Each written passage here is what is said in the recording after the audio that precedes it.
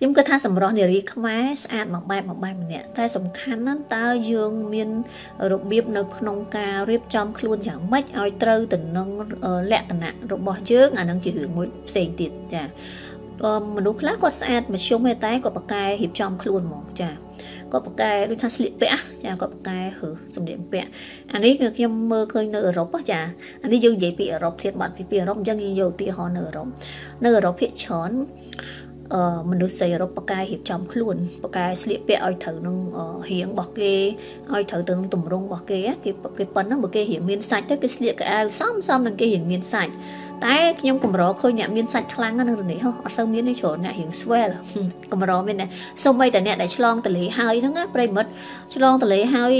កូនពី3ខែអីហ្នឹងស្លៀកខោកបយរឹបអីបានហើយចារៀងឡើង swell ចា swell ហ្មង តែដោយសារអីដោយសាររបបអាហារដូចខ្ញុំបានជម្រាបប្រិមិត្តអញ្ចឹងអឺ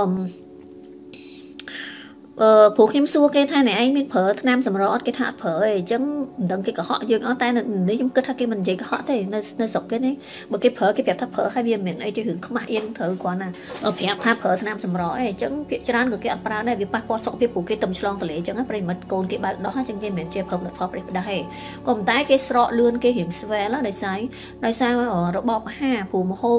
ម្ហូបអាស៊ីយើងវាឆ្ងាញ់ហើយប៉ុន្តែវាមិនសូវ ផ្ដល់នៅ good nutrition ទេដូចទីហោយើងញ៉ាំមកកំភ្លុះតែយើងឆាប់ហេវចាដូចយើងសឡមកជូរចាខ្ញុំនិយាយនេះសំទោសមិនរិះគន់មហូបខ្មែរយើងទេណាចាក៏ប៉ុន្តែគ្រាន់តែយើងនិយាយពីសកាពិតចានិយាយពីការពិតឥឡូវដូចជាយើងញ៉ាំសឡមកជូរតកួនមកជូរផលិតអីហ្នឹងវាឆ្ងាញ់ចាប៉ុន្តែបើយើងគិតអំពីអឺគេហៅថាសារៈប្រយោជន៍នៃអាហារមួយចានដែលយើងហូបហ្នឹងណា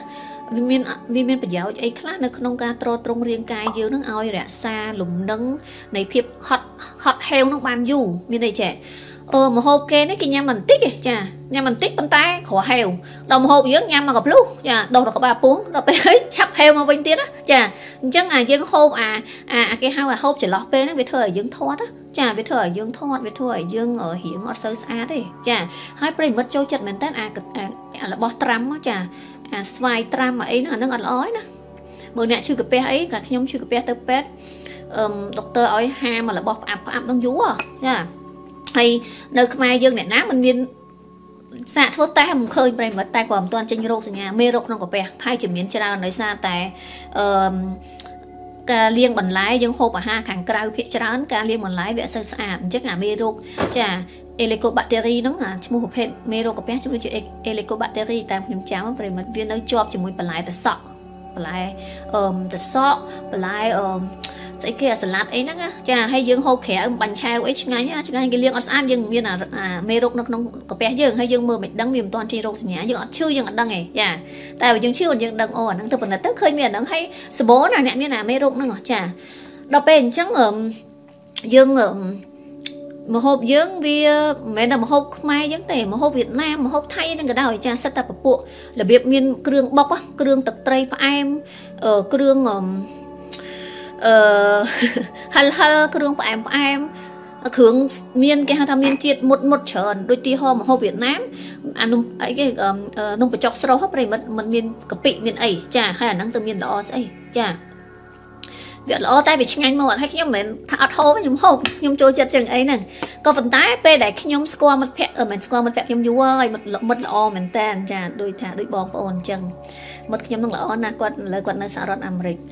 មិត្តភក្តិខ្ញុំហ្នឹងគាត់អត់ដែរចេះធ្វើម្ហូបឯនៅខ្មែរប៉ុន្តែដល់ទៅនៅអាមេរិកជំនាញហ្មងចាប៉ុន្តែគាត់អត់ចេះធ្វើម្ហូបខ្មែរទេគាត់ថាមិនមែនគាត់អត់ចេះទេដោយសារតែគាត់អត់ធ្វើដោយសារប្តីគាត់អត់ហូបមិនមែនម្ហូបខ្មែរសំទោម្ហូបអាស៊ីគឺគាត់ប្តីគាត់អត់ចេះហូបអញ្ចឹងគាត់ត្រូវតែរៀនធ្វើម្ហូបបែបអាមេរិកកាំងឬក៏បែបកាណាដាព្រោះប្តីគាត់ Canadian ចាកាណាដាអាមេរិកចាដល់ពេលអញ្ចឹងគាត់ប្រាប់ខ្ញុំថាលះម្ហូបគេម្ហូបអឺរ៉ុបញ៉ាំទៅធ្វើរៀងយើង fit ព្រោះវាវាចំណេញកាឡូរីហើយវាមាន nutrition ច្រើនណាមាន protein ច្រើនហើយទៅពេលហើយខ្ញុំសួរទៅលើពុទ្ធិឯងធ្វើមុខអីខ្លះជួយប្រាប់ខ្ញុំផងមើលចាហើយទៅពូម៉ាក់ខ្ញុំបាញ់រូបឲ្យខ្ញុំមើលចាបាញ់រូបឲ្យខ្ញុំមើលដែលគេរៀនអំពីតាម Pinterest ចាតែគេបាញ់ខ្ញុំមើលគេប្រាប់គេផ្ញើ voice ប្រាប់ខ្ញុំថាហូបគេនឹងស្រួលធ្វើលាក់គ្រាន់តែសូសបន្លែសូសអីចឹងទៅបើលាក់ឯងចង់ញ៉ាំព្រោះគាត់ហៅខ្ញុំនឹងលាក់លាក់ចឹងឬថាខ្ញុំឈ្មោះលាក់កណាមែនតែពូម៉ាក់ខ្ញុំមិនដែរហៅលាក់កណាទេវាវែងហៅតែលាក់ថាបើលាក់ឯងចង់ញ៉ាំបន្លែនឹងរៀងស្រួលឧទាហរណ៍ថាបន្លែ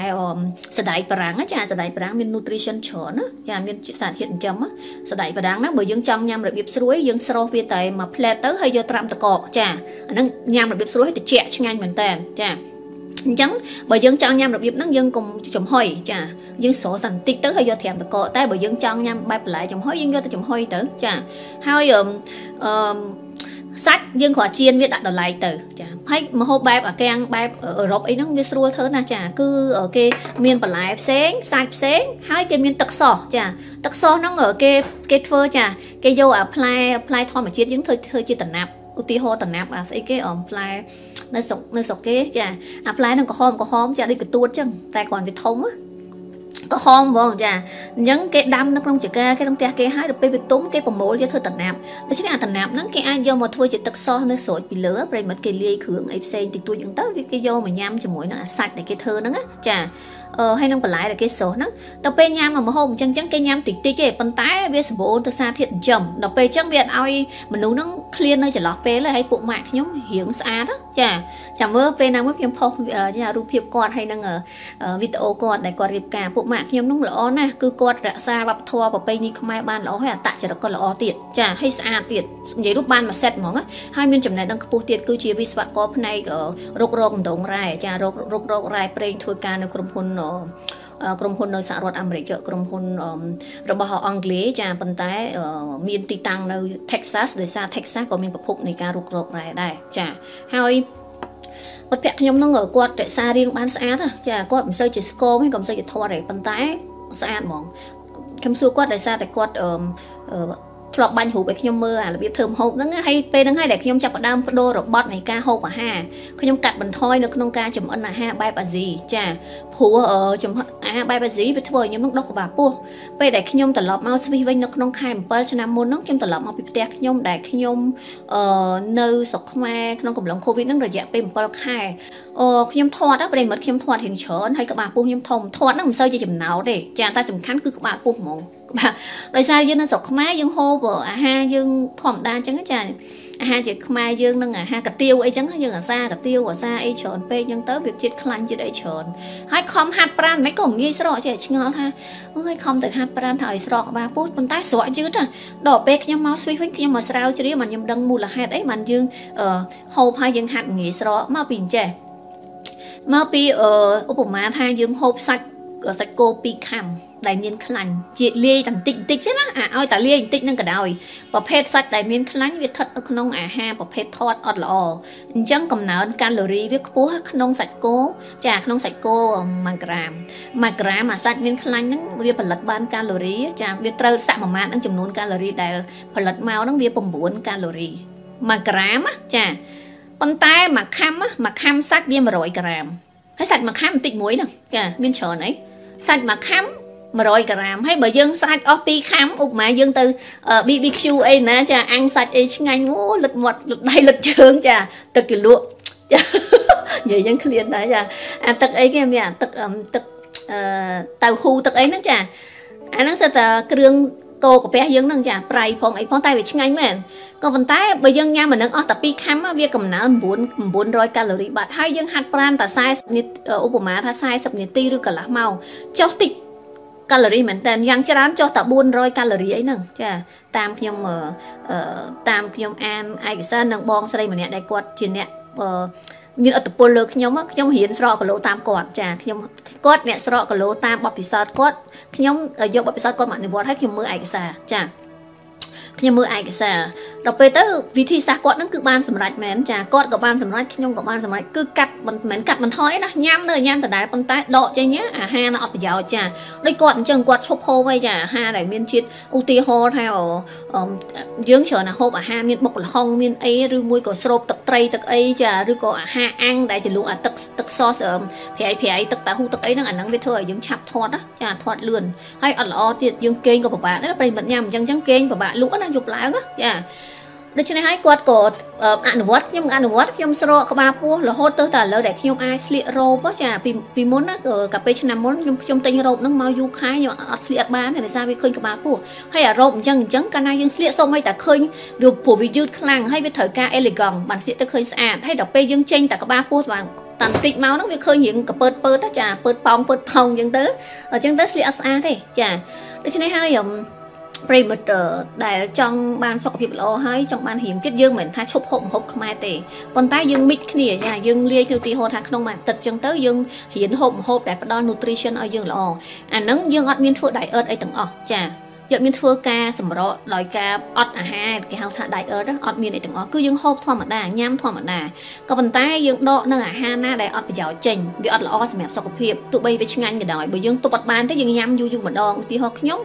មិនដកបានទាំងអស់ទេគ្រាន់ថាក្នុងក្នុងមួយខែអញ្ចឹងចាពេលដែលខ្ញុំញ៉ាំរបស់នឹងញឹកប្រិមិត្តខ្ញុំអត់បត់ជើងគណៈខ្ញុំអត់បត់ជើងអត់បត់ខ្ញុំពិបាកបត់ជើងដោយសារខ្ញុំមានបញ្ហាមេរោគក្នុងកាពះឈឺយូរហើយចាហើយដល់ពេលយើងព្យាបាលរាគសាច់កាពះនឹងយូរទៅទៅវាធ្វើឲ្យយើងបញ្ហាកុងស្ទីពេដល់ពេលអាកុងស្ទីពេហ្នឹងវាចាវាបញ្ហាធ្វើឲ្យយើងសុំទោសចាក្តៀនហ្នឹងវាវាកើតមកជ្រូកយន់ច្រើនឆ្នាំហើយហើយវាអត់មានបត់ជើងដោយស្រួលទេចាអញ្ចឹងហើយធាតជាតិពុលវានៅក្នុងខ្លួនយើងពេញដល់ពេលអញ្ចឹងយើងអត់ស្រួលខ្លួនហើយយើងអត់មានសាច់ឈាមអីស្អាតទេចាប៉ុន្តែនៅពេលដែលខ្ញុំបដូររបបអាហារឲ្យតែខ្ញុំខ្ញុំជួបបញ្ហាហ្នឹងគឺខ្ញុំត្រូវបដូររបបអាហារបដូរបញ្ញាអាហារបែបបែបអឺរ៉ុបវិញពេលព្រឹកចាពេលព្រឹកខ្ញុំខ្ញុំញ៉ាំអាស្រូវសាលី ចាស្រូវសាលីដូចខ្ញុំបានជំរាបប្រិមិត្តអញ្ចឹងគឺស្រួលធ្វើមែនតើថ្ងៃណាតនេះចាំខ្ញុំធ្វើវីដេអូបង្ហាញចាវាធ្វើស្រូវសាលីហើយខ្ញុំមិនអាចត្រូវឲ្យថាស្រូវសាលីវាអត់សូវឆ្ងាញ់ទេវាមិនឆ្ងាញ់មាត់ទេប៉ុន្តែវាធ្វើឲ្យសុខភាពជឹងល្អចាវាមានប្រូតេអ៊ីនវាខ្ពស់ឧបមាថាយើងញ៉ាំម៉ោង7អញ្ចឹងម៉ោង4ម៉ោងក្រោយបានយើងអាចហេវវិញវាទុកពោះយើងបាន3ម៉ោងកន្លះទៅ4ម៉ោងអាហ្នឹងស៊ីសងលើបរិមាណដែលយើងញ៉ាំទៀតបើយើងញ៉ាំបានកាន់តែច្រើនវាទុកពោះយើងកុំឲ្យញ៉ាំចន្លោះពេលហ្នឹងបានកាន់តែច្រើនអញ្ចឹងចាអញ្ចឹងខ្ញុំញ៉ាំពេលព្រឹកខ្ញុំញ៉ាំស្រូវសាលីហើយពេលថ្ងៃចាខ្ញុំញ៉ាំអាហារដែលយើងចំអិនស្រួលស្រួលទៅអត់ធ្វើអីច្រើនទេព្រោះយើងអាចចំអិន3ពេលទេហត់ចាតើពេលល្ងាចមកខ្ញុំចំអិនអាហារចម្បង អឺពេលល្ងាចខ្ញុំបើខ្ញុំញ៉ាំលក្ខណៈបែបអឺរ៉ុបដូចខ្ញុំបានធ្វើបង្ហាញជូនប្រិមិត្តអញ្ចឹងគឺខ្ញុំយកតែបន្លែដែលស្រួលស្រួលចំអិនទេយើងមិនបាច់បបាចិត្តអីញ៉ៃញ៉ៃច្រើនចាគឺខ្ញុំប្រើដលងប្រាំងហើយនឹងប្រើការ៉ុតបើប្រិមិត្តមានតែពីរមុខនឹងក៏បានដែរតែបើដាក់ផ្កាកាត់ណាខៀវឬក៏គេហៅថា broccoli ចាផ្កាកាត់ណាខៀវផ្កាកាត់ណាសចំហុយទៀតក៏បានដែរហើយផ្កាកាត់ណាខៀវនោះប្រូតេអ៊ីនវាខ្ពស់ខ្លាំងណាស់ហើយសម្បូរ fiber មែនតើណាចាប្រិមិត្តមិនធ្លាប់ឃើញគេ live លក់ទៅទិញផលិតផលអីគេ fiber លាបដើម្បីសម្រកក្បាលពោះតាមពិតអឺ វាគ្រោះថ្នាក់ទៅវិញទេព្រោះផលិតផលទាំងអស់ហ្នឹងវាជំរុញឲ្យ metabolism យើងដុតកាឡូរីហ្នឹងខុសពីប្រកដីបរិមាណកាឡូរីដែលវាដុតហ្នឹងវាដុតទៅខ្លាំងពេកវាអត់មានទុកបរិមាណសល់នៅក្នុងខ្លួនយើងខ្លះហើយវាដុតទៅឲ្យច្រើនដើម្បីឲ្យយើងឆាប់ស្រក់ អញ្ចឹងវាគ្រោះថ្នាក់ណាវាអាចធ្វើឲ្យសរីរាង្គណាមួយមិនដំណើរការអញ្ចឹងហើយបើអ្នកខ្លះកាំងបេះដូងស្លាប់អ្នកខ្លះមានក្នុងឯកសារដែលខ្ញុំអានហ្នឹងអ្នកខ្លះមានឈាមចេញតាមរុនគូតចាសំទោសខ្ញុំអត់ដឹងថាប្រើបកប្រែថាម៉េចតែពាក្យហ្នឹងគឺមានន័យថាអញ្ចឹងចេញឈាមចេញតាមរុនណាចាឬក៏អ្នកខ្លះស្លាប់ភ្លាមភ្លាមអញ្ចឹងដោយសារ malfunction ណាសរីរាង្គក្នុងខ្លួនយើងដំណើរការលែងល្អដោយសារការ metabolism ហ្នឹងវាដុតលើសកម្រិតដែលវាត្រូវដុត ប៉ុន្តែបើយើងប្រើអាហារដែលត្រឹមត្រូវគឺយើងអត់បង្ខំឲ្យ metabolism នឹងដុតលើសកម្រិតរបស់វាទេគឺវាដុតត្រូវធម្មជាតិដែលវាត្រូវដុតចាអញ្ចឹង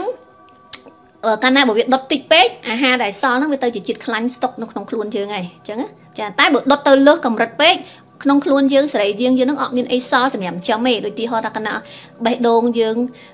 វាអត់អាចទៅចិញ្ចឹមសេរីយើងដូចជាបេះដូងចាកណាបេះដូងយើង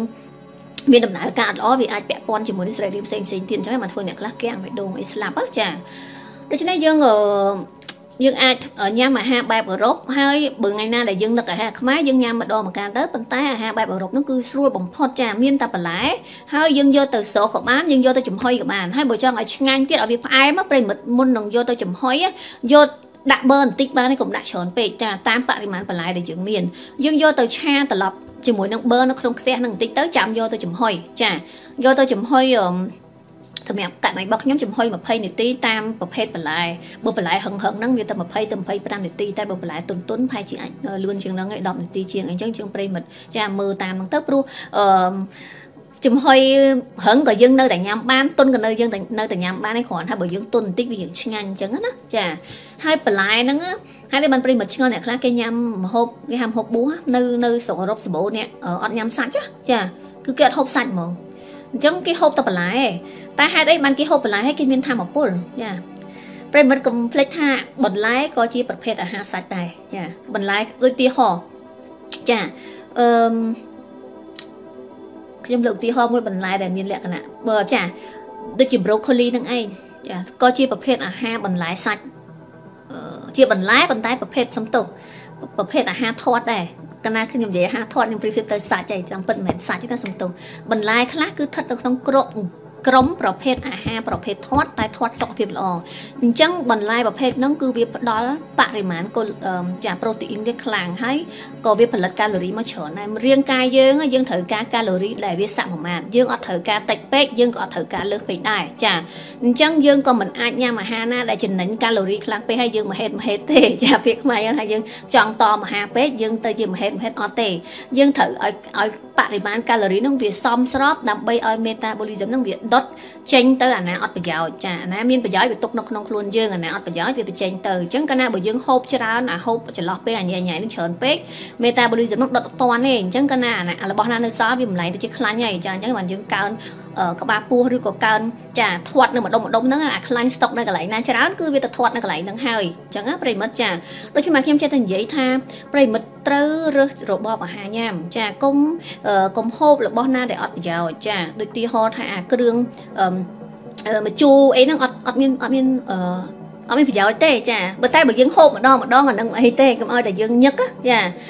អឺ មួយទៀតចាម្ហូបដែលធ្វើពីគ្រឿងផ្សំច្រើនពេកដូចទីហោបើអ្នកឈឺកាពះអីគឺគេឲ្យហូបមួយជូរគ្រឿងមួយជូរអីទេអាហ្នឹងវាប៉ះពាល់ជាមួយនឹងចាកម្រិតរលាកក្នុងក្នុងសាច់កាពះរបស់យើងចាខ្ញុំកាពេលខ្ញុំឈឺកាពះ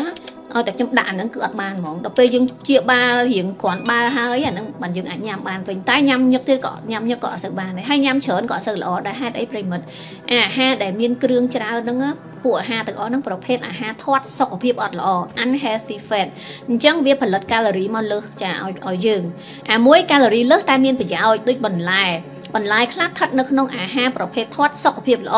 អញ្ចឹងបើវាផលិតមកកាឡូរីកាឡូរីលើសក៏វាផ្ដល់ប្រយោជន៍មកឲ្យយើងដែរប៉ុន្តែអាអាគ្រឿងបុកគ្រឿងអីនឹងច្រើនហ្នឹងវាផលិតមកអាកាឡូរីលើសដែលអត់បានការចាហើយសម្រាប់រាងកាយមនុស្សគឺខុសគ្នា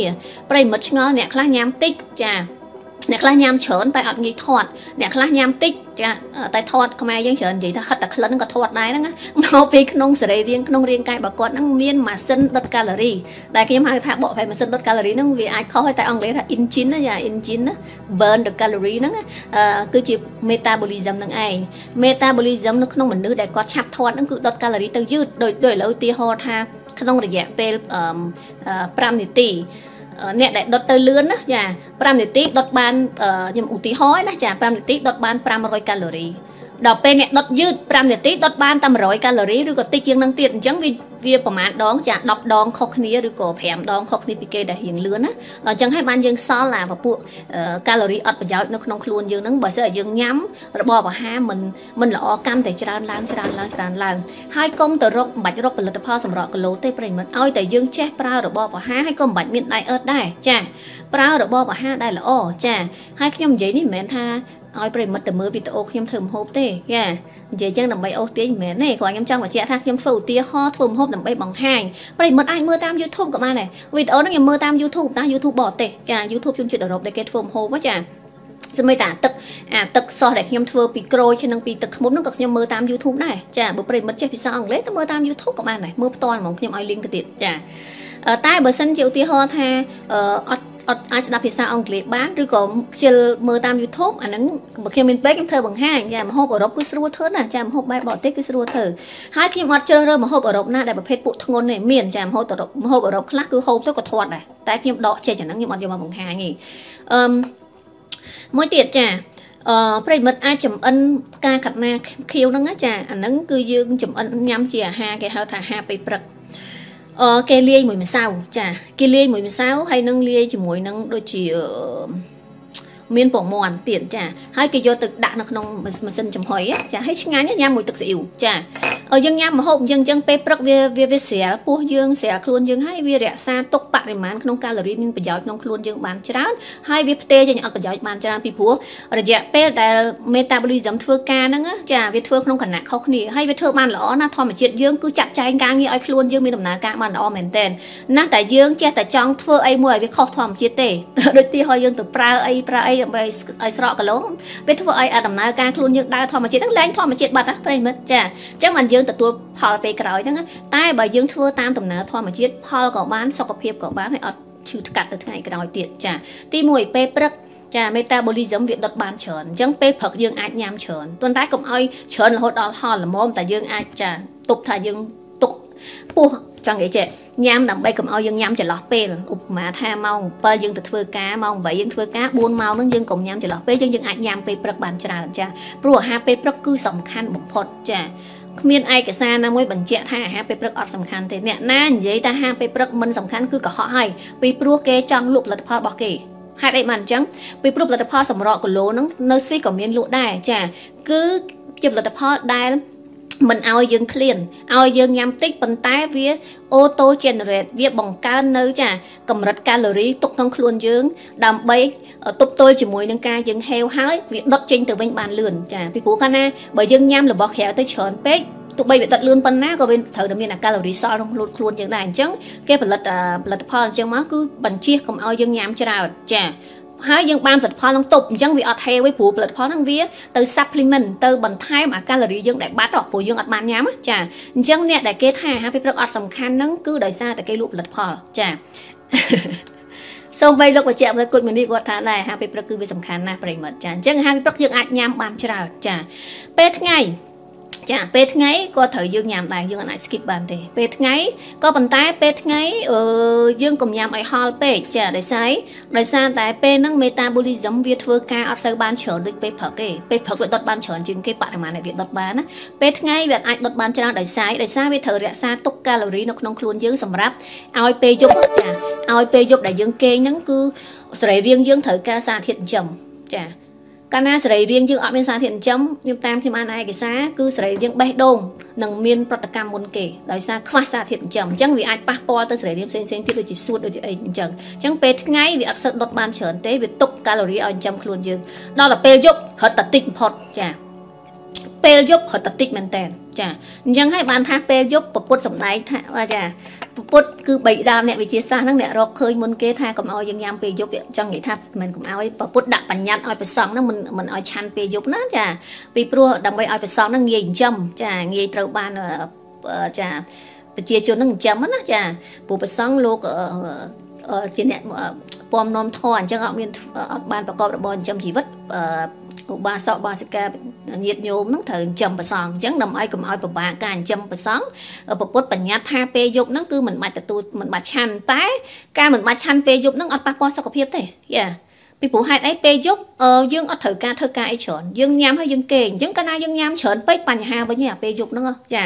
យើងញ៉ាំល្មមមកណៃចាបើសិនជាយើងញ៉ាំពេលព្រឹកបានច្រើននិងពេលថ្ងៃបានច្រើនចា តែឧទាហរណ៍ពេលថ្ងៃយើងមិនសូវបានអីញ៉ាំអាហ្នឹងចាំបាច់ត្រូវតែញ៉ាំពេលយប់ច្រើនព្រោះយើងហេវចាតែយកល្អចារបបអាហារដែលល្អគឺពេលព្រឹកច្រើន ពេលថ្ងៃច្រើនដែលល្មមដែលយើងអាចចាទទួលទានទៅកុំឲ្យហល់ហើយពេលយប់យើងញ៉ាំតិចបានហើយ ឬមួយក៏មិនបាច់ញ៉ាំក៏អត់អត់មានបញ្ហាតែតែបើយើងឃ្លានអានឹងយើងត្រូវតែញ៉ាំហើយចាហេតុអីបានខ្ញុំបានបញ្យល់ចឹង metabolism ហ្នឹងពេលយប់ហ្នឹងវាអត់សូវវាអត់សូវដុតទេវាតែដុតតិចមែនតែតែម្ដងក៏ប៉ុន្តែផលិតផលដែលគេសម្រកឲ្យយើងស្រកខ្លាំងហ្នឹងដែលខុសស្តង់ដារផលិតផលវាមានរបស់គេល្អដែរចារបស់គេអាមានស្តង់ដារត្រឹមត្រូវហ្នឹងអាហ្នឹងក៏គេផលិតមក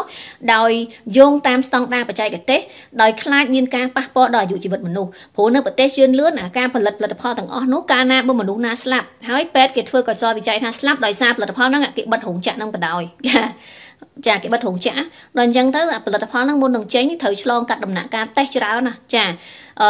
លហើយវាមានសុវត្ថិភាពវាមានសុវត្ថិភាពជាងផលិតផលដែលយើងបាននិយាយថាជាផលិតផលបង្កើតម៉ាកខ្លួនឯងហ្នឹងយកល្អកុំសាកប្រើចាពីព្រោះថាបង្កើតម៉ាកខ្លួនឯងហ្នឹងដំណាក់កាលតេស្តហ្នឹងគឺអត់សូវមានទេចាមានតិចហើយប្រិមិត្តខ្ញុំរៀនផ្នែក software ចាខ្ញុំរៀនផ្នែកការផលិតកម្មវិធីនិយាយរួមពាក្យថា software មានតែមិនចាឥឡូវឧទាហរណ៍ អឺទូរស័ព្ទមួយហ្នឹងអាចប្រិមិត្តអាចថតរូបបានអាច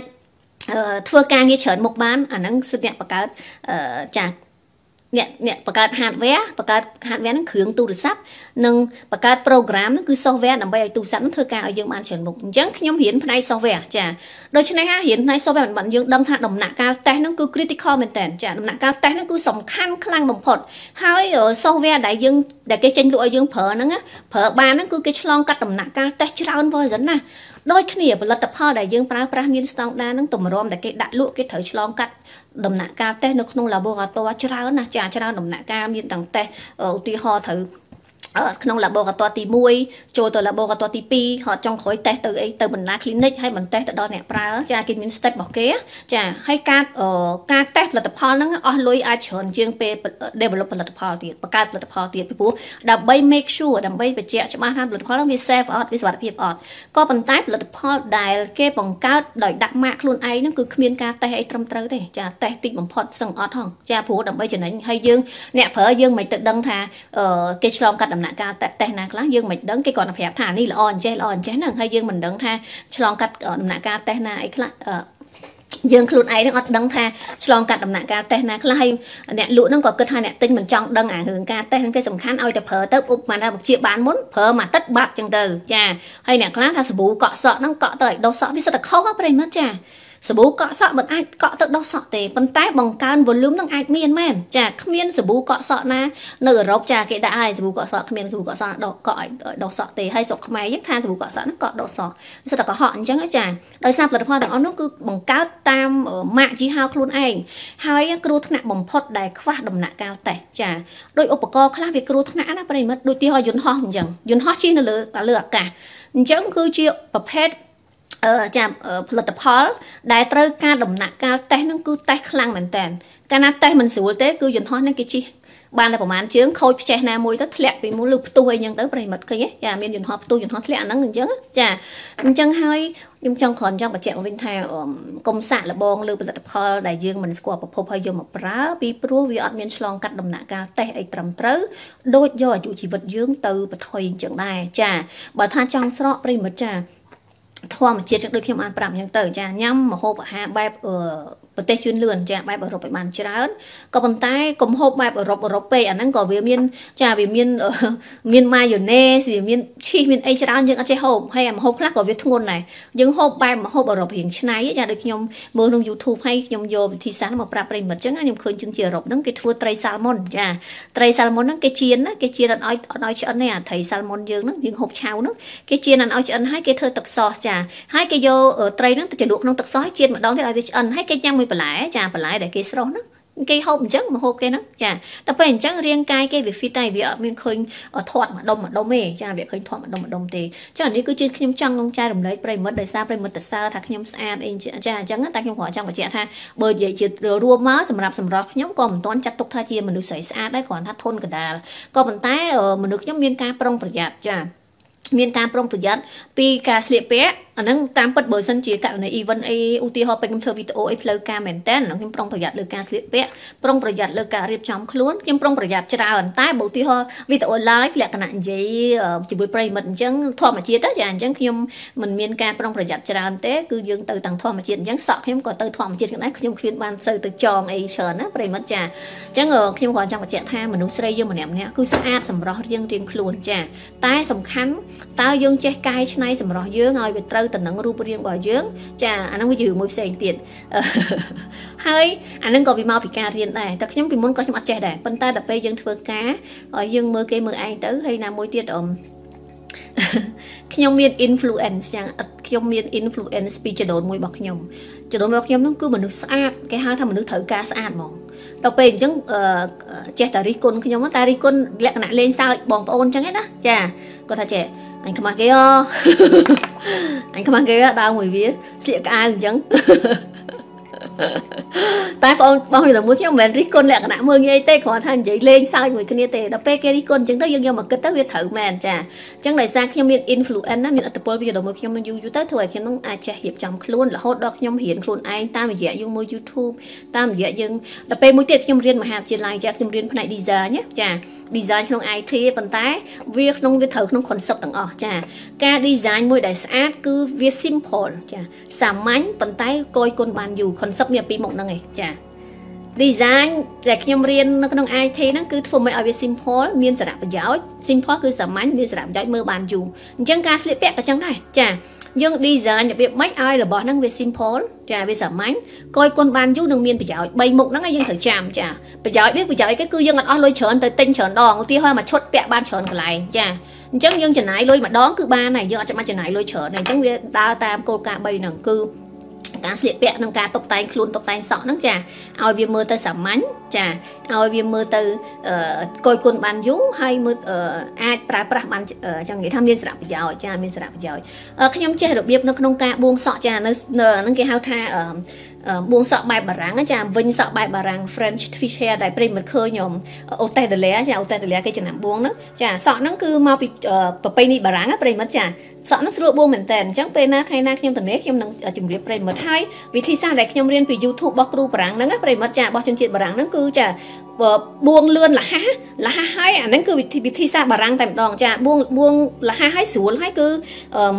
យើងមនុស្សសាមញ្ញក៏យើងអាចរៀនតាមបានដែរបើវិធីសក់ចាការធ្វើសក់របៀបបារាំងហ្នឹងបើយើងឃើញអ្នកអូតេសបួងគឺគេបួងរបៀបលក្ខណៈមួយបានតែអ្នកជំនាញដែលអាចបួងកើតប៉ុន្តែបើសិនជាយើងជាអ្នកធម្មតាអញ្ចឹងអត់មានជំនាញអ្នកធ្វើសក់អីអញ្ចឹងយើងត្រូវរៀនវិធីសាស្ត្រចេញពីបារាំងតែម្ដងចាគឺគេមូសក់ចាប្រិយមិត្តចាគឺគេមូសក់អឹមខ្ញុំពិបាកបែរចាកញ្ចឹងកចាយើងមូសក់ហើយយើងមូមូចូលចឹងមកចាចាប់ចូលចេះទៅហើយយើងដាក់តាគៀបខ្មៅជុំជុំវិញទៅវាคล้ายជាសក់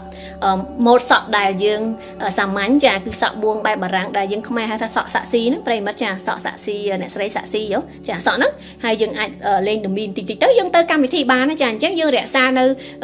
criteria នៅនៅលក្ខខណ្ឌ3នឹងដដែលគឺធ្វើឲ្យវាសាមញ្ញធ្វើឲ្យវាមានលក្ខណៈអឺទឹកឲ្យគុណបានយូរចាហើយធ្វើឲ្យអាចធ្វើ ប្រើបានច្រើនដងមានន័យថាម៉េចរបស់របរដែលយើងទិញមកធ្វើសក់ហ្នឹងគឺយើង អាចធ្វើឆ្នៃម៉ូដអីទៀតក៏បានដែរអាហ្នឹងចាអញ្ចឹងយើងអត់អស់លុយទិញនៅតាគៀបឬមួយក៏ទិញរបស់របរឆ្នៃសក់ហ្នឹងច្រើនដងហើយព្រោះយើងអាចឆ្នៃធ្វើម៉ូដសក់សាមញ្ញសាមញ្ញបានប្រភេទច្រើនច្រើនម៉ូដចាអញ្ចឹងទាំងអស់ហ្នឹងខ្ញុំនឹងចាធ្វើវីដេអូពេលខ្ញុំទនេចាខ្ញុំចង់ចែករំលែកទៅកម្មសុភាពនារីព្រោះខ្ញុំគិតថាស្ត្រីខ្មែរយើងអត់មានអ្នកណាអត់ស្អាតទេស្អាតមួយបែបបែបម្នាក់ចាធម្មជាតិស្រីខ្មែរស្អាតឥឡូវប្រិមិត្តមើលតែចំនួនសង្គមរាជនិយមគេហៅថាស្ត្រីខ្មែរចកេះចកេះក្រងចាស្អាតណាចាចកេះក្រងចកេះទូចទូចឲ្យពាក់សពុតបត់ហើយអាវរៀងខ្លីៗរៀងខើចខើចហ្នឹងចាពីសង្គមស្អាតណាស់ចាអញ្ចឹងខ្ញុំយល់ថាធម្មជាតិស្ត្រីខ្មែរយើងស្អាតស្រាប់ហើយចាឲ្យតែយើងចេះច្នៃបន្តិចបន្តិចទៅចាគឺបានហើយចាអរគុណច្រើនប្រិមិត្តឥឡូវខ្ញុំត្រូវដល់ពេលធ្វើម្ហូបហើយប្រិមិត្តណាសំទោសហើយអរគុណសម្រាប់ការចំណាយពេលដ៏មានតម្លៃតាមដានវីដេអូរបស់នាងខ្ញុំក៏ដូចជាអរគុណសម្រាប់ការផ្ដល់នៅព័ត៌មានអំពីខ្ញុំធ្វើការធ្វើស្ថិតិអង់គ្លេសហៅថាធ្វើ poll ចាធ្វើស្ថិតិនោះមានន័យថាចង់ដឹងថាតើប្រិមិត្តចង់ស្ដាប់ប្រធានបទណាមុនអំពីរវាងប្រទេសបារាំងនិងប្រទេសអ៊ីតាលីឥឡូវខ្ញុំបានចម្លើយប្រិមិត្តហើយគឺប្រិមិត្តចង់ទទួលបានពីប្រទេសបារាំងមុនចាហើយខ្ញុំនឹងនិយាយប្រទេសអ៊ីតាលីទៅចាតាមក្រោយចាសូមទោសសម្រាប់ប្រិមិត្តដែលគាត់ជ្រើសរើសយកអ៊ីតាលីប៉ុន្តែសូមអធិស្ឋានយើងធ្វើតាមប្រជាមតិចាធ្វើតាមប្រជាមតិអឺអឺប្រិមិត្តណាគាត់ចង់ស្ដាប់ប្រទេសណាមកខ្ញុំជូនប្រទេសនឹងនិយាយប្រទេសនឹងមុនអូអូនជួយប្រាប់ផងនៅស្វីសនឹងនឹងទឹកបាញ់ឡើងលើកម្ពស់ប៉ុន្មានម៉ែត្រដែលបើកបាញ់ ចានៅស្វីសនឹងទឹកបាញ់ឡើងលើកម្ពស់ប៉ុន្មានម៉ែត្រដែលបើកបាញ់ថ្ងៃសៅរ៍អាទិត្យអឺខ្ញុំអត់យល់សំណួរអ្នកមីងចាអ្នកមីងម៉ៅសុធារីអ្នកមីងឬក៏បងស្រីចាសំទោសមិនមែនមីងទេគាត់បងឯងចាគាត់អាយុក្មេងយ៉ាងច្រើន40ជាងឯងអឺសូមជួយប្រាប់ផងនៅស្វីសនឹងទឹកបាញ់ឡើងលើកម្ពស់ខ្ញុំអត់យល់សំណួរចាបងបងសូមជួយសួរសេម្ដងទៀតចូលចិត្តណាស់បងអូនចាអរគុណច្រើនចា អរគុណបងចារីត្រីសួស្ដីចាជម្រាបលាប្រិមិត្តជាទីស្នេហាហើយជូនពរចារីត្រីសួស្ដី សុបិនល្អក្នុងពេលរាត្រី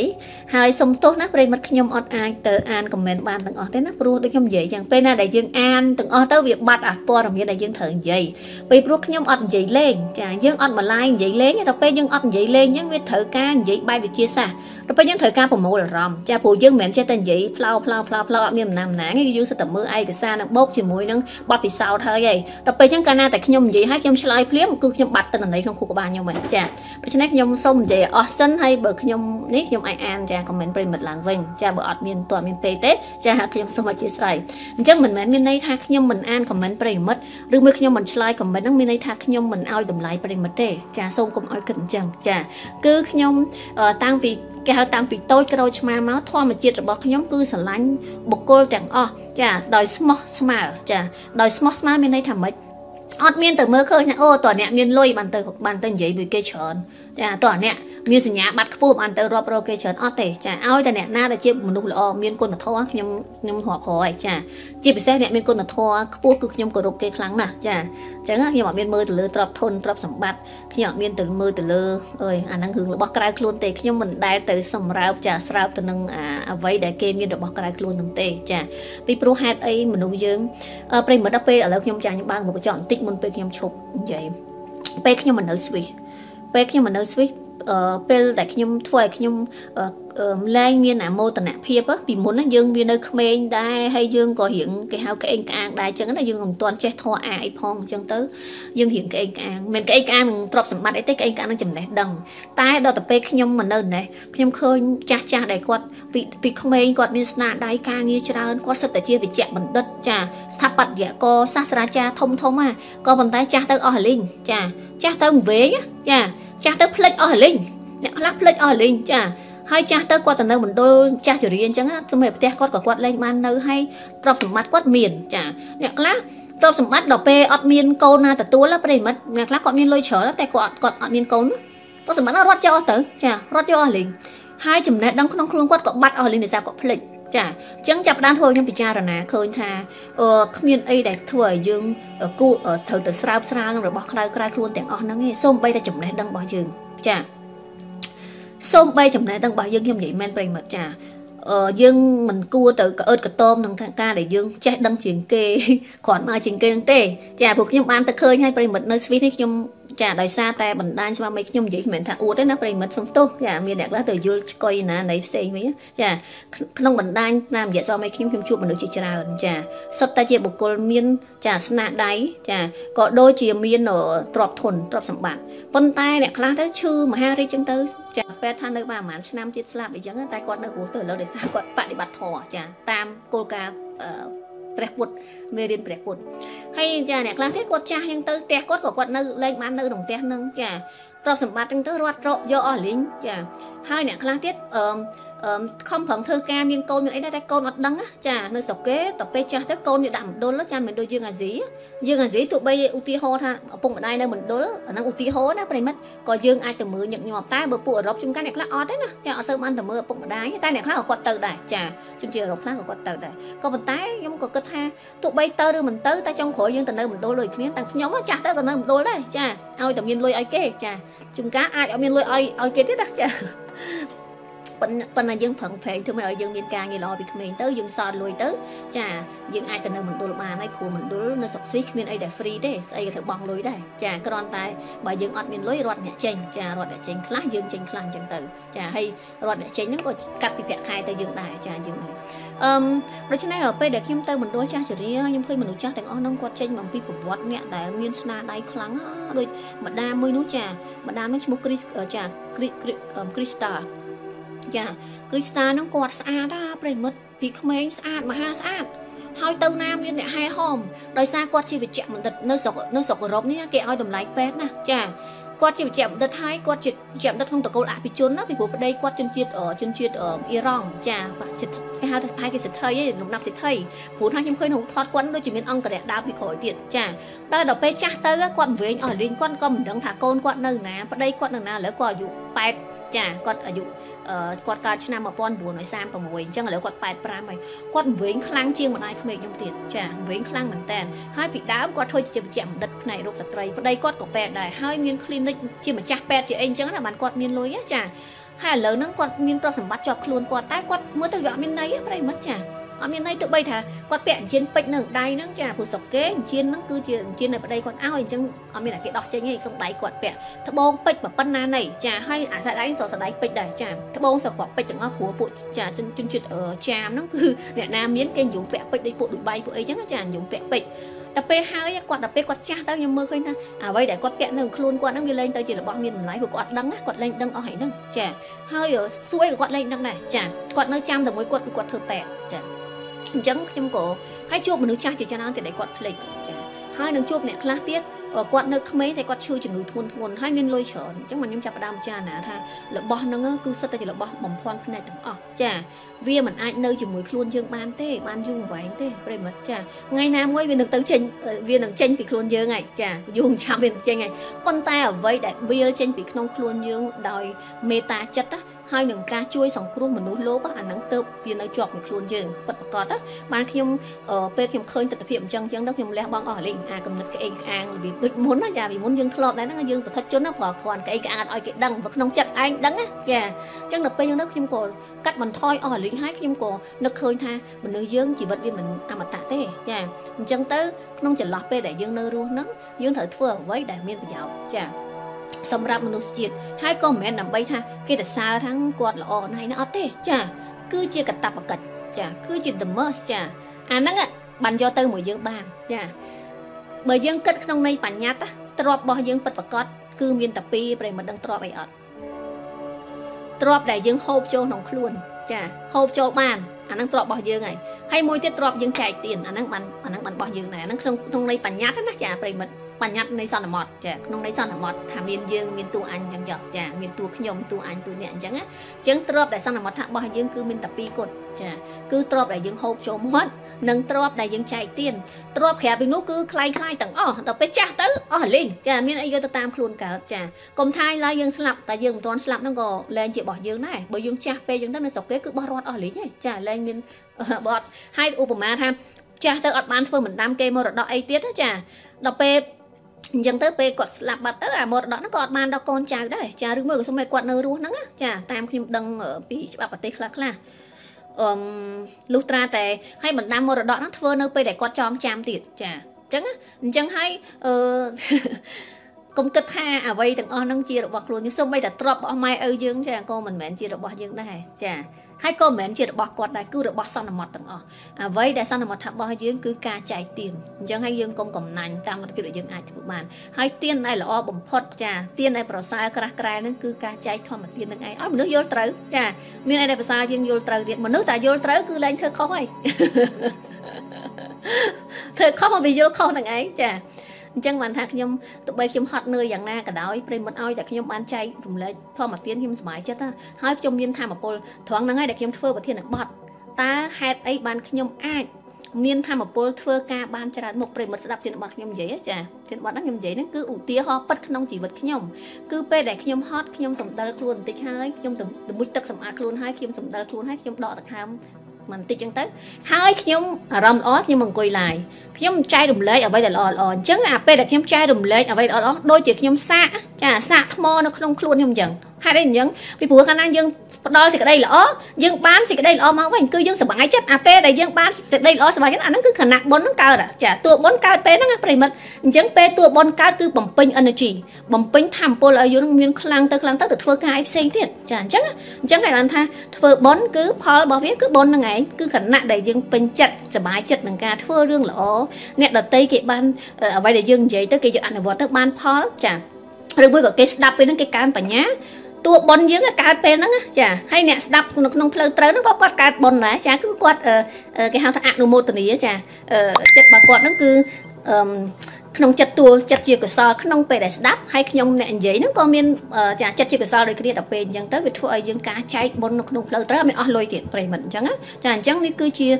វិធីសាស្ត្រនៅក្នុងការជំរុញធម៌ពលរបស់ខ្ញុំចាដើម្បីឲ្យខ្ញុំអាចធ្វើការបានច្រើនណាដូចទីហោឥឡូវយើងមានកូនផងធ្វើមហូបផងធ្វើការងារផ្ទះខ្លះខ្លះផងដូចទីហោមិនសឹងមិញកូនខ្ញុំគាត់ញ៉ាំអីខុសយ៉ាងទៅគាត់ក្អួតទៅចា2ម៉ោងគាត់ទៅកើបចាហត់ណាប្រិមិត្តចាចាគ្នា អាណិតកូនណាយ៉ាអួតឲ្យគេថាបន្តិចអួតទៀតអញ្ចឹងណាអញ្ចឹងយើងតាមតាមមើលឲ្យតាមការបន្លត់តម្រាំថាវាអស់អាជាតិអាហារដែលគាត់ញ៉ាំទៅអត់ល្អនឹងចេញមកចាហើយត្រូវធ្វើម្ហូបពេលល្ងាចទៀតធ្វើឲ្យញ៉ាំហើយគេងលក់ស្រួលបដ ாய் ព្រោះយើងហត់ពេកដល់ពេលហត់ទាំងទៅគេងលក់វាស្រួលចាដូច្នេះអឺនេះគឺជាបច្ចេកទេសដែលខ្ញុំចម្រើនធម៌ពលខ្លួនឯងចាចម្រើនធម៌ពលគុំទៅមើលឲ្យអត់ប្រយោជន៍ខ្ញុំមិនដែលទៅមើលឥឡូវហ្នឹងខ្ញុំស្ដាប់តែធម៌ទេប្រិមិត្តចា ស្ដាប់តែធម៌នឹងអ្វីដែលនិយាយពីសច្ចធម៌តែផ្ទុយពីនឹងខ្ញុំឈប់ស្ដាប់ហើយពីព្រោះអាហ្នឹងវាអីវាចម្រើនតណ្ហាខ្ញុំហើយអាចចម្រើនតណ្ហាហ្នឹងស៊ីធម៌ពលចាមិនមែនបង្កើនធម៌ពលទេណាចាព្រោះស៊ីធម៌ពលយើងឲ្យគិតថាត្រូវធ្វើម៉េចឲ្យបានអាហ្នឹងចាក៏ប៉ុន្តែមិនមានន័យថាមិនដាច់ដាច់តណ្ហាការចង់បានឲ្យអត់ធ្វើការងារទេមិនមែនអញ្ចឹងទេគឺធ្វើការនៅតែធ្វើការចា ប្រឹងប្រែងក៏គ្រាន់តែថាអាចិត្តលោភៈចុចពាក់ហ្នឹងគឺយើងផ្ដាច់ផ្ដាច់ផ្ដាច់ចឹងទៅធ្វើឲ្យធម្មពលយើងមានទៅមានទៅយើងសុបាយចិត្តធ្វើការបានច្រើនមុខមាន productivity អង់គ្លេសគេហៅថា productivity មានន័យថាក្នុងមួយថ្ងៃហ្នឹងយើងសម្រេចការងារចលនាផលបានអីខ្លះចាបើក្នុងមួយថ្ងៃហ្នឹងបានតែមើល Facebook គេជេរគ្នាដល់ឥឡូវនេះគេពីមុនហ្នឹងគេ live អីគេប្រិមិត្តអាស្អីគេអាដបងយៈហ្នឹងចាហើយខ្ញុំចេះឆ្ងល់អាដបងយៈដបងអាហ្នឹង ប្រទាលឬក៏អីអញ្ចឹងណាចាហើយគេឆ្ងល់ហើយគេហូបខ្ញុំគិតអញ្ចឹងថាតើវាមានប្រយោជន៍អីសម្រាប់សុខភាពដល់ពេលឆ្ងល់ទៅដាក់ status សួរប្រិមិត្តទៅគាត់ប្រាប់វិញចាអញ្ចឹងពេលខ្លះប្រិមិត្តខ្ញុំរៀនពីប្រិមិត្តវិញទេចាខ្ញុំសួរគាត់ក៏ប្រាប់ថាអាហ្នឹងវាមានមកពីប្រទេសមិចស៊ិកអាដបងយៈហ្នឹងវាមានអាពូជគេហូបបានហើយនៅមិចស៊ិកគេហូបអាហ្នឹងជាផ្លែឈើផងជាបន្លែផងប៉ុន្តែពូជតែគេហូបបានហើយគេហូបដូចយើងហូបស្ដៅអញ្ចឹងអញ្ចឹងក្នុងខ្លួនគេហ្នឹងវាផ្សំជាមួយនឹងអារុក្ខជាតិហ្នឹងហូបតែមានបញ្ហាអីតែដល់ពេលយើងយើង ប្រទេសយើងមិនមែនជាប្រទេសដែលហូបបន្លែហ្នឹងទេអញ្ចឹងសារធាតុក្នុងខ្លួនយើងអត់មានផ្សំទៅនឹងអាប្រភេទបន្លែហ្នឹងដែលយើងត្រូវហូបទេហើយក្នុងប្រទេសយើងវាមិនមែនជាពូជសម្រាប់ហូបបន្លែហ្នឹងតែនឹងសម្រាប់សត្វទេចាដល់ពេលយើងមើលគេឃើញគេហូបហើយឡាយយើងទៀតយើងទៅទិញតាមចាអញ្ចឹងបានថាអាហ្នឹងឃើញខាតធម្មពលអត់ប្រេងមានចំណេញធម្មពលស្អីចាតែមើលអញ្ចឹងអញ្ចឹងខាតធម្មពលព្រោះយើងត្រូវទៅទិញអាហ្នឹងមកហូបហើយយើងហូបអត់ស្រួលខ្លួនអត់ស្រួលខ្លួនចាអាពេលអត់ស្រួលខ្លួនវាមិនមែនភ្លាមភ្លាមទេចាឥឡូវទីហោប្រហែលខែក្រោយវាប៉ះពាល់ដល់ថ្លើមពុលថ្លើមពុលអីទៅយើងមិនដឹងប្រិមិត្តព្រោះរបស់ហ្នឹងសម្រាប់សត្វហ្នឹងវាត្រូវជាមួយរាងកាយសត្វដែលយើងយកមកហូបអញ្ចឹងយើងមិនខាតធម្មពលចាហើយធម្មពលខ្លះខាតភ្លាមភ្លាមអត់ទាន់ដឹងទេដល់ពេលមួយខែក្រោយចាជាតិជាតិពុលក្នុងថ្លើមអាហ្នឹងមកវិញមកវាយើងហូបប្រេះប្រដាស់ហ្នឹងចាអញ្ចឹងហើយបានខ្ញុំថាអឺ គួរតែចម្រាញ់មើលអ្វីដែលមានសារៈប្រយោជន៍ចាហ្នឹងដើម្បីបង្កើនធម៌ពលចាបង្កើនធម៌ពលហើយប្រិមិត្តចាតែស្ដាប់ធម៌ឲ្យបានច្រើនប្រិមិត្តថាខ្ញុំស្ដាប់ធម៌កើនបញ្ញាខ្លាំងណាស់ពីមុនខ្ញុំជាមនុស្សមានអ្នកបើធ្វើការជាក្រុមតាគេមិនយកកំណត់ខ្ញុំខ្ញុំអត់ព្រមហ្មងឥឡូវអត់ទេចាហេតុអីបានអញ្ចឹងព្រោះគិតថាខ្លួនឯងវាគិតត្រូវកាលណាគេយកបោះកំណត់គេទៅវាខុស គ្រូកាត់បន្ទុកចាឥឡូវអត់ខ្វល់ចាឲ្យតែគេគិតថាអញ្ចឹងដែរក៏យកទៅពីព្រោះខ្ញុំបែងចែកថាចំណេះដឹងនេះមិនមែនសច្ចធម៌ទេចាសច្ចធម៌កាលណាបើយើងយល់ខុសពីនឹងគឺខុសហើយពីសច្ចធម៌មានផ្លូវពីរផ្លូវតែមួយគត់ចាសមាតថៈនិងមច្ឆាតថៈក៏ប៉ុន្តែមេរៀននៅក្នុងផ្លូវលោកវិជាផ្លូវលោកអត់ទេចាជ្រុងខ្លះយើងមើលឃើញលេខ6ជ្រុងខ្លះយើងមើលលើឃើញលេខ9អញ្ចឹងគ្រប់វិជាផ្លូវភាកច្រើននៃវិជាផ្លូវលោកដែលមិនមែនសច្ចធម៌ហ្នឹងយើងអាសឹបកំណត់គេទៅអញ្ចឹងយើងអត់ stress ច្រើនអូខេ អ្នកឯងគិតថាអញ្ចឹងត្រូវអ្នកឯងអះអាងទៅប្រាប់គ្រូទៅមានន័យថាម៉េចបានថាអញ្ចឹងខ្ញុំយល់ស្របចាអញ្ចឹងទៅបិទចប់អត់មានខ្វល់ចាកាលមុនអត់អញ្ចឹងទេអញ្ចឹងតួបញ្ញាយើងដោះនៅពេលហ្នឹងចា អញ្ចឹងប្រិមិត្តដើម្បីឲ្យបញ្ញាដោះប្រិមិត្តគឺស្ដាប់ធម៌ឲ្យបានច្រើនដកពីហ្នឹងកុំស្ដាប់ច្រើនពេកប្រិមិត្តចាអាចចម្រើនលោភៈហ្នឹងគឺដកចេញឲ្យបានច្រើនហើយស្ដាប់ធម៌ឲ្យបានច្រើនប្រិមិត្តនឹងមានធម៌ពលដ៏ខ្លាំងនៅក្នុងការប្រកបការងារចាហើយរៀនអីក៏ឆាប់ចេះដែរស្ដាប់អីក៏ឆាប់យល់ដែរចាប្រិមិត្តមិនជឿសាខ្ញុំខ្ញុំសាហើយឥឡូវខ្ញុំថាខ្ញុំមកស្ដាប់គ្រូនិយាយអង់គ្លេស ចានិយាយអង់គ្លេសគ្រូខ្លះនិយាយញាប់ណាចាញាប់ដូចគេហៅថានិយាយឡើងឆ្មាញ់ហ្មងណាក៏ប៉ុន្តែខ្ញុំស្ដាប់ធម៌ខ្ញុំរៀនកន្លែងសមាសមាធិចាការតម្កល់ចិត្តត្រូវចាអញ្ចឹងយើងអនុវត្តតែមួយឃ្លាហ្នឹងរបស់ប្រពុតប្រិមិត្តអញ្ចឹងប្រពុតអស់ចាណាចាអនុវត្តតែមួយឃ្លាហ្នឹងយើងរៀនស្ដាប់គ្រូអំភើយចាគ្រូនិយាយចង់មកកឆេទេក៏យើងនៅតែដឹងថាគាត់ចង់មានន័យថាម៉េចដែរចាអាហ្នឹងមកពីយើងមានសមាសមាធិចាអញ្ចឹងប្រិមិត្តចាដូច្នេះហើយខ្ញុំថាអឺបើខ្ញុំខ្ញុំមានពេលខ្ញុំចង់ ចែករំលែកអំពីសារៈប្រយោជន៍នៃការចម្រើនទូបញ្ញាតាមការស្ដាប់ធម៌ហ្នឹងគឺឲ្យប្រិមិត្ត ចាជ្រើសរើសមកធ្វើជាគោលនៃផ្លូវជីវិតរបស់យើង គឺយើងជោគជ័យចានេះគឺជាមេរៀនជោគជ័យពិតប្រាកដចាមិនមែនមេរៀនជោគជ័យតាមគេតាមឯងទេចាហើយបើចង់រៀនជោគជ័យតាមផ្លូវលោកខ្ញុំនឹងធ្វើប្រធានបទខ្ញុំរៀនចានៅជំនាញខ្ញុំហ្នឹងចាគឺជោគជ័យតាមផ្លូវលោកចាប៉ុន្តែតាមលក្ខណៈស្តង់ដាររបស់គេដែលមានសាស្ត្រាចារ្យមហាវិទ្យាល័យហើយអ្នកជំនាញដែលចេញមកពីក្រុមហ៊ុនធំធំគេមកបង្វឹកចាគេមកដាក់ ការងារឲ្យយើងធ្វើគេប្រាប់យើងធ្វើម៉េចដើម្បីឲ្យការងារនឹងជោគជ័យដើម្បីឲ្យជីវកម្មនៃឯងធ្វើអញ្ចឹងបានជោគជ័យត្រូវធ្វើធ្វើអាហ្នឹងគេហៅវិជាផ្លូវលោកអញ្ចឹងបើប្រិមិត្តចង់ដឹងកន្លែងហ្នឹងខ្ញុំមានពេលខ្ញុំយកចំអ្វីដែលខ្ញុំបានរៀនខ្ញុំបងជាលុយហ្នឹងចាខ្ញុំពុះច្រាក់ពុះជ្រៀកពុះជ្រៀកជាមេរៀនតូចតូចចាហើយគឺជាអំណាចអំណាងចេញមកពីសាកលវិទ្យាល័យចានៅអឺរ៉ុបចាមិនមែនចេញពីមាត់ខ្ញុំឬក៏តាមការពិសោធន៍របស់ខ្ញុំដែលអត់ស្តង់ដារទេចាអាហ្នឹងវិជាផ្លូវលោកចាប៉ុន្តែបើប្រិមិត្តយល់ល្អចារៀនស្ដាប់ធម៌វិជា តាមពិតទៅសច្ចធម៌ហ្នឹងផ្លូវលោកហ្នឹងក៏ផ្លូវធម៌ដែរចាគ្រាន់ថាមនុស្សបែងចែកទេតែតាមពិតគឺផ្លូវតែមួយទេគឺផ្លូវការពិតចាផ្លូវការពិតដូច្នេះហើយ